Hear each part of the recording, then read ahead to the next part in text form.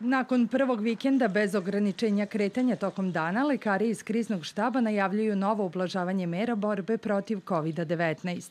Ipak apeluju na građane da to ublažavanje ne znači i manji oprez, te naglašavaju da se sve mere zaštite moraju poštovati. Ove cifre danas su apsolutno ohrabrujuće. Broj novoinficiranih je 3,08%, znači daleko ispod onih predprocenata o kojima smo pričali.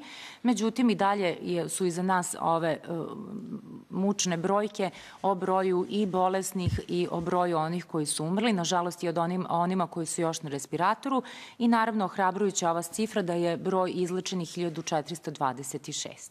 Upitana za policijski čas, doktorka Milošević rekla je da će on biti ukinut kako se postepeno budu ukidale i ostale mere.